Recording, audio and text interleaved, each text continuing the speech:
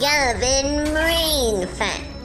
In the episode War of Worlds Part 1, this is the first time Benson transformed into an alien from the classic series in Alien Force. In Part 2 of the episode War of Worlds, the DNA wave emitted from the Omnitrix affected every Highbreed within range of the jump gates, curing 99.9% of Highbreeds in the universe. One more thing. Whatever we were before, today we're a team. We look out for each other. We win or lose together.